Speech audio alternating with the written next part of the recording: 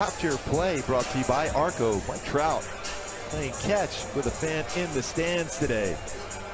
What a thrill for the youngster to play catch with the MVP, Mike Trout, before the